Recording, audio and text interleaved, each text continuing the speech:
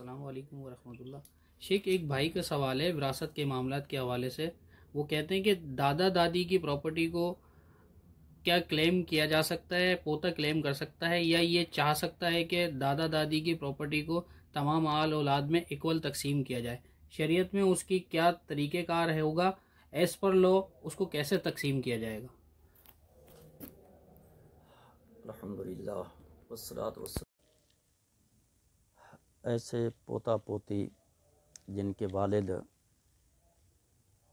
اپنے والد کی زندگی کے اندر موجود تھے یعنی جب ان کا انتقال ہوا تو اس وقت ترکہ جو ہے تقسیم نہیں ہوا تھا اور بعد میں ان کے والد بھی فوت ہو گئے۔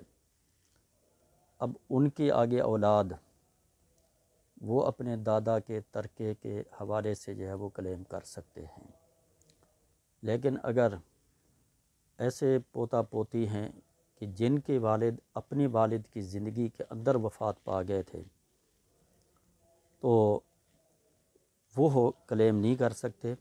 البتہ اس صورت کے اندر ویسے تو ایک بڑی تفصیل ہے لیکن مختصر یہ ہے کہ کسی آدمی کے بیٹے کے فوت ہونے پر اس کے باپ کی یہ ذمہ داری بنتی ہے کہ اس کے جو پوتے پوتی ہیں وہ ان کے لیے وصیت کریں۔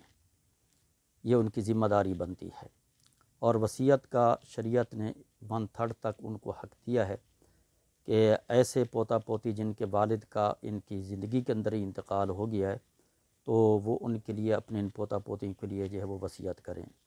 اگر انہوں نے وصیت نہیں کی، اس کا علم نہیں تھا یا سستی کاہلی کی وجہ سے، تو پھر اس کے بعد ان بچوں کے جو چچا، تایا، پھوپھیاں وغیرہ ہیں، ان کی کچھ ذمہ داری بنتی ہے کہ وہ ہو اپنے اپنے حصے میں سے کچھ چھوڑ کر اپنے ان بھتیجے، بھتیجیاں ان کے لیے مختص کریں۔ تو بہرحال مختصر یہ ہے کہ ایسے پوتا پوتی کہ جن کے والد کا اپنی والد کی موجودگی کے اندر انتقال ہوا ہے، وہ تو کلیم نہیں کر سکتے۔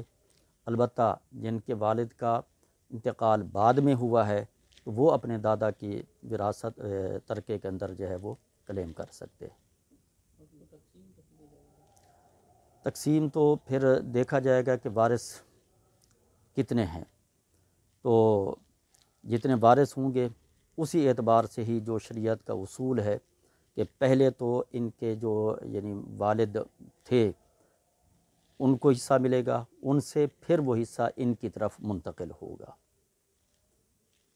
تو یہ تقسیم جو ہے مقصد ہے کہ جو ورثاء ہیں، ان کو دیکھتے ہوئے کہ ورثاء کون کون ہیں، کتنے ہیں، تو اس اعتبار سے تقسیم ہوتی ہے۔